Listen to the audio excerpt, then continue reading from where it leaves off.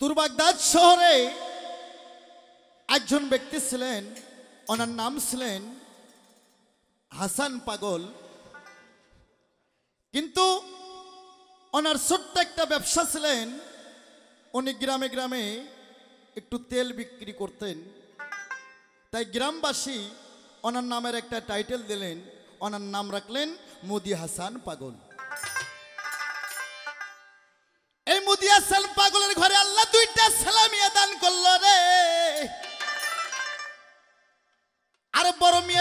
ছিলেন মোসাম্মাত রায়না খাতুন। নামও রায়না কামও রায়না ওরকম সুন্দরী নারী তুরু বাগদাদ শহরে আর কারও ঘরে ছিল না। আর ছোট ছেলেটার নাম রাখলেন মোহাম্মদ মনসুর। দুইটা ছেলে মেয়েকে মাদ্রাসায় ভর্তি করে দিলেন। ছোট ছেলে মনসুর লেখাপড়া করতে করতে পাক্কা শরীয়তের একজন টাইটেল পাশের আলেম হয়ে গেলেন। কিন্তু মুদি হাসান পাগল রে। যেদিন থেকে একটা পীরের হাতে হাত দিয়ে উনি বায়াত গ্রহণ করলেন, সেদিন থেকে মুদি হাসান পাগল। উনি নামাজ তো দূরের কথা, জীবনে নামাজ বন্দেগি পড়েন না।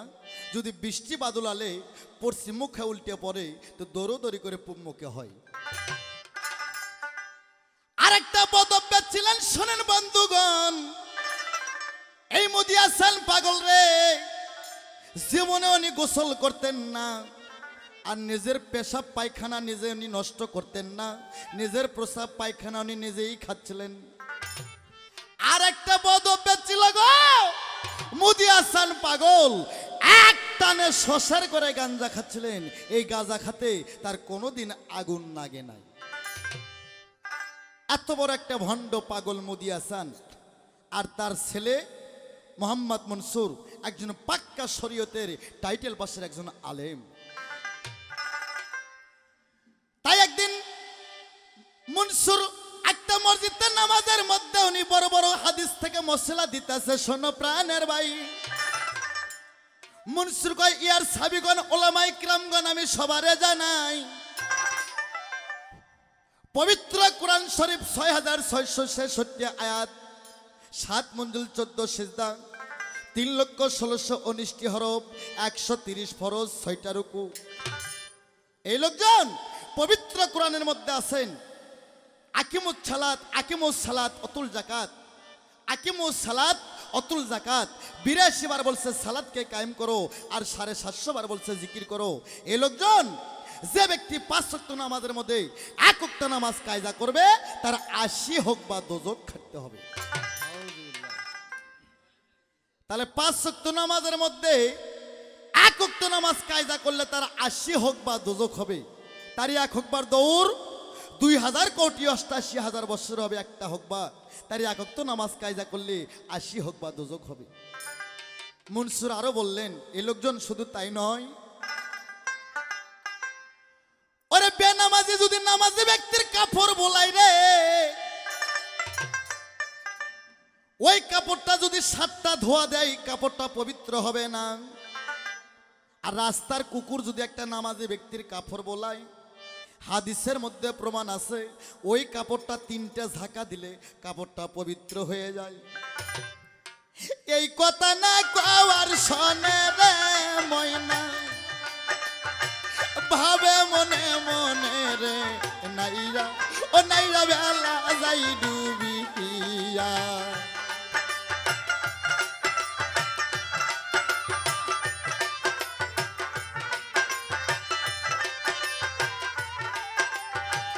আছেন যত দেশ বিদাসী শোনেন বন্ধুগণ, মুদি হাসানের ছেলে গমন সুর আইন করে তখন। মসজিদের মুক্তাদি সবাই গেল বাদি হইয়া রে। নাইয়া ও নাইরা বেলা যাই ডুবিয়া আল্লাহ রাসুল বলে, নারের গামাজি বাদামি দাও তুলিয়া রে। নাইরা ও নাইরা বেলা যাই ডুবিয়া ওরে মসজিদের মুক্তাদিগণ, সবাই কয় মনসুর রে?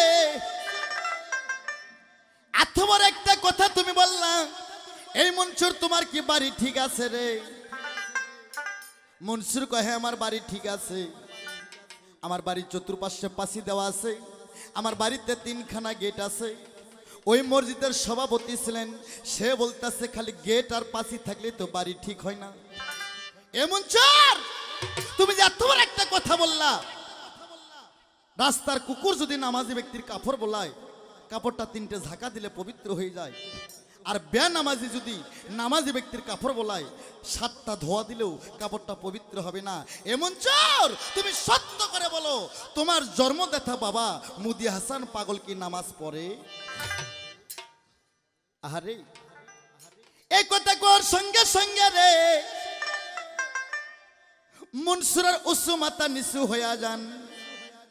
মনসুর বলতেছে, আমি একজন ইমাম, আমি কি করে মিথ্যা কথা বলব? আমার জন্মবার পর, আমার বুদ্ধি হওয়ার পর কোনো দিন তো আমার বাবাকে আমি পশ্চিম দিকে ঢিস দিতে দেখলাম না। সাতাশ গ্রামের লোক বাদী হয়ে গেল মনসুর তোমার বাবা ঠিক নাই। স্পষ্ট কোরআনের তাফসিরে প্রমাণ আছে, একটা ইমাম সাহেবের চোদ্দটা শর্ত আছে। চোদ্দটা শর্তের মধ্যে যদি একটা শর্ত ভুল হয়ে যায়, এবার শরীয়তের আইন অনুযায়ী ওই ইমাম সাহেবের পিছে মুক্তাদির নামাজ হবে না। ওরে মনসুর কইতাছে বাউ জান গো। আমাকে একটাবার সুযোগ দেন, আমি নামাজ শেষ করে বাড়িতে যাব। আমার বাবাকে আমি বুঝাবো, আগামী শুক্রবার দিন থেকে আমার বাবাকে আমি নামাজে ভর্তি করাবো। জনগণ সবাই বলতে আছে মানুষের ভুল হতে পারে রে। ঠিক আছে মনসুর আম- আমরা তোমাকে সময় দিলাম রে। ওরে নামাজ শেষ কইরা মনসুর বেটা বাড়িতে গেল, শোনো প্রাণের ভাই। বাড়িতে যা মনসুরের মা ছিল নাম তার বিবি রোকেয়া। কয়, মা মাগো আমার বাবা কই মা, একবার বলো না গো। কয়, কেন মনসুর? তোমার বাবার কি দরকার? কয়, মা, জানো না গো, আমি একজন শরীয়তের পাক্কা আলেম। আমার কথায় সাতাশ গ্রামের লোক ওটা বসা করে, আর আমার বাবা বেনামাজি গাজা খেয়ে বেড়ায়। এটা সমাজ মেনে নিতে পারল না। মা, সত্য করে বলো, আমার বাবা কোথায়? কয়, তোর বাবা তো বাড়িতে থাকে না। জঙ্গলায় সময় কাটায়। মুদিয়া সান পাগলের ছেলে মনসুর আস্তে আস্তে জঙ্গলায় যায়। জঙ্গলাতে গেল মনসুর, শোনো সমাসার যাইয়া দেখে হাসান পাগল রে, ময়না কোন কাম করিল রে? নাইরা, ও নাইরা বেলা যাই ডুবিয়া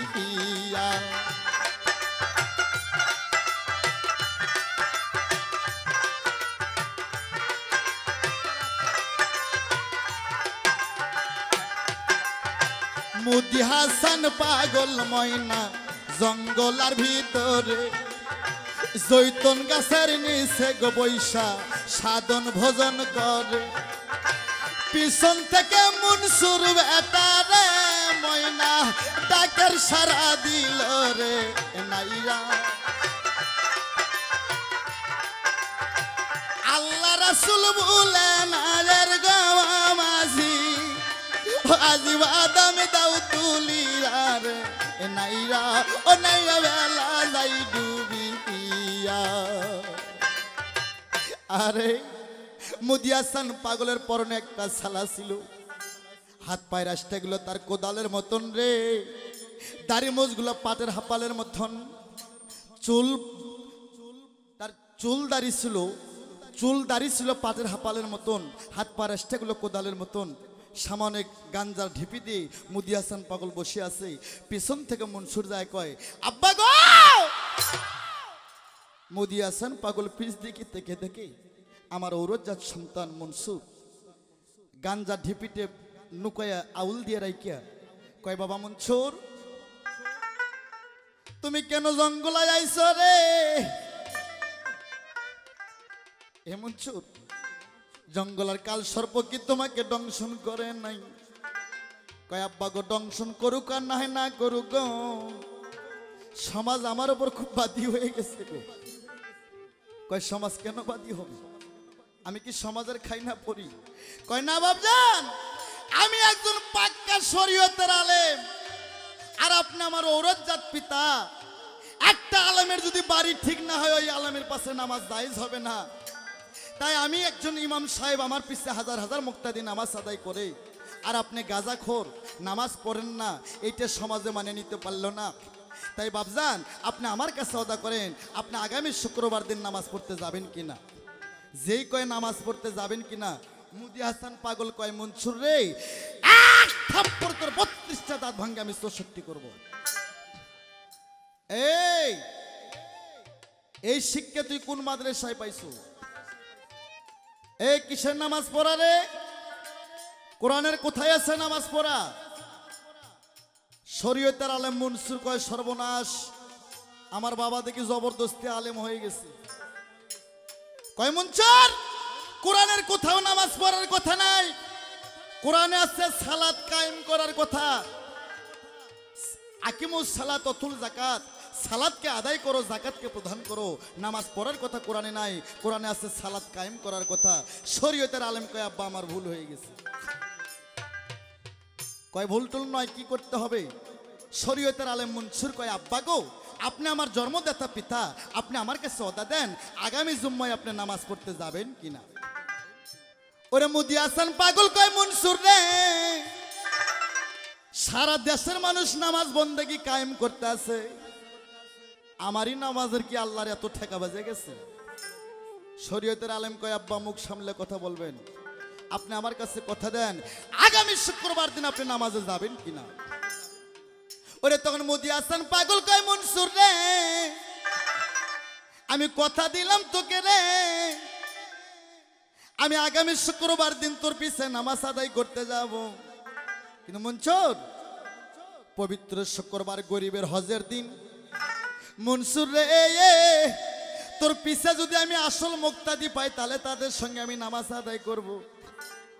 আর যদি ডুপ্লিকেট মুক্তাদি পাই, তাহলে তাদের সঙ্গে আমি নামাজ আদায় করব না যারা মুসলমান সন্তান আছেন এখানে, বাবা, পবিত্র শুক্রবার গরিবের হজের দিন মসজিদ ঘরের মধ্যে ডুপ্লিকেট মুক্তাদি কারা আর আসল মুক্তাদি কারা? তাই মোদি হাসান বলল মঞ্চুর যদি ডুপ্লিকেট মুক্তাদি পাই, তাদের সঙ্গে আমি নামাজ আদায় করব না। আর যদি আসল মুক্তাদি পাই, আমি তাদের সঙ্গে নামাজ আদায় করব।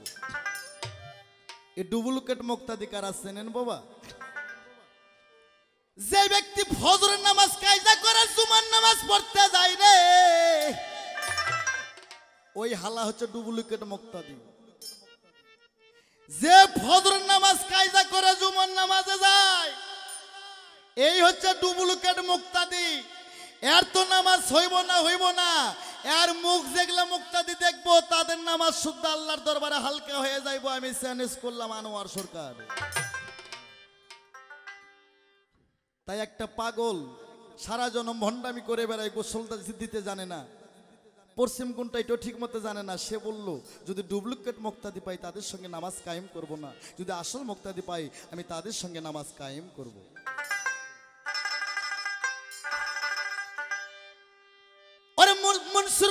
আপনি আমার কাছে কথা দেন। আপনি কি সত্যি যাবেন? হ্যাঁ কথা দিলাম। বলে সত্যি করে বলেন। কয় সত্যি করে বলেন, মুদি হাসান পাগল আবার কয় যেই বেটা কথায় কথায় সত্য কয় যেই বেটায় কথায় কথায় সত্যি বলে, এই মায়ের সাথে জিনা করে। জবানের নাম জিব্রাইল। আমার এই মুখতে জবান দিলাম, পৃথিবী কিয়ামত হয়ে যাইব রে! কিন্তু এই মুদি আসান পাগলের জবান দুই হইব না। আমি সামনের শুক্রবার দিনে তোর মসজিদে নামাজ আদায় করতে যাব।